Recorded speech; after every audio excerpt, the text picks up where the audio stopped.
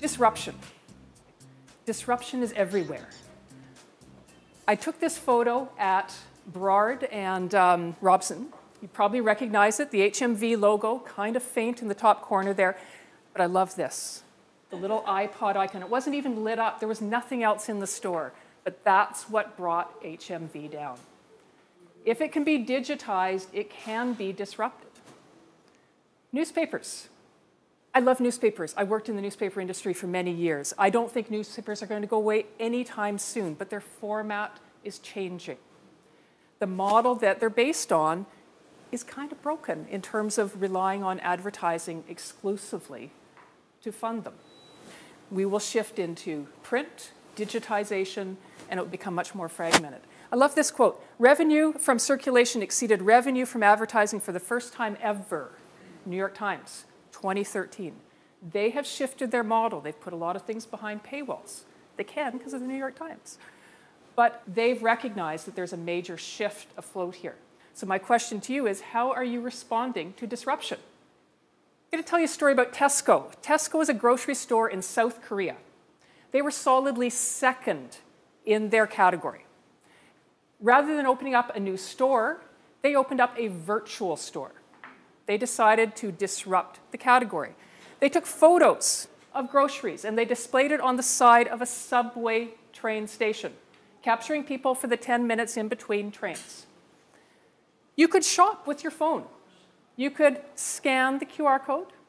You could buy it, and it would be shipped and delivered to your house that evening. Pretty cool, eh? Okay. They disrupted their industry. They changed, they challenged the, dis uh, the distribution, the pricing, and the promotional model. This went crazy in terms of free media coverage.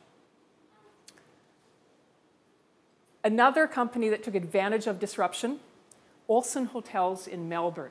Anyone ever been there? Melbourne? Take Melbourne first, then a Molson Hotel? Okay.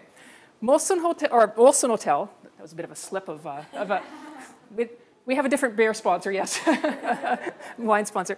Um, Olsen Hotel in Melbourne decided to challenge convention in their industry about the checkout policy. So you know how you check out at 11, you check in at 3. In between, they're cleaning your room. Okay. They decide to say, well, if there's no one coming to your room, why do you have to check out? We'll let you stay. So at the Olsen Hotel, you call down in the morning. Is there anyone coming in? Nope. Okay, great. You can stay. Free. For a day. No one comes in another day, you can stay another day. They call it the overstay. They've got a great thing on their website that shows the animation of this poor guy getting, you know, uh, he's really relaxing by the end of his stay. The reality is, is that the Olsen is a popular hotel. Nobody's going to abuse this thing terribly.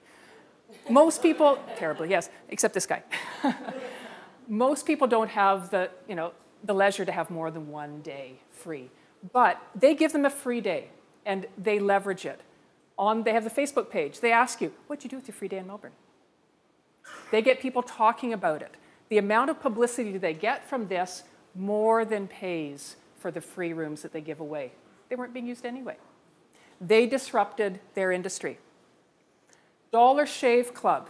Dollar Shave Club challenged the men's shaving category. They sell razors for a dollar. You can get the more expensive version. I think it's like nine bucks. There we go. For a dollar by mail. You order it online, it comes shipped to you.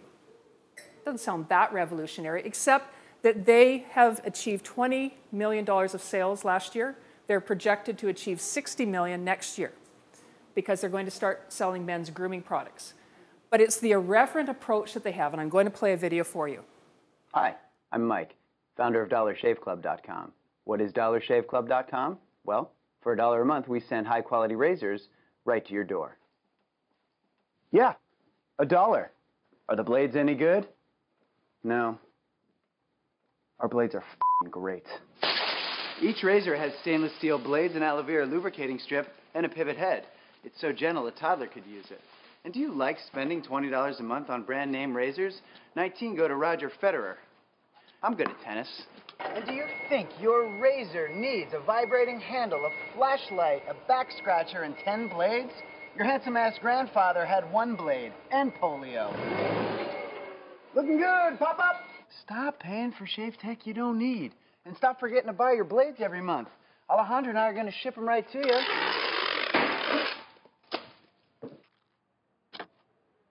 We're not just selling razors, we're also making new jobs. Alejandro, what were you doing last month? Not working. What are you doing now? Working. I'm no Vanderbilt, but this train makes hay.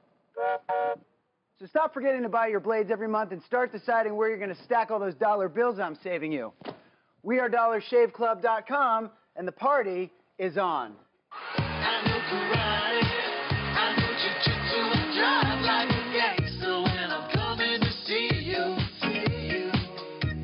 See you. These guys have disrupted their category.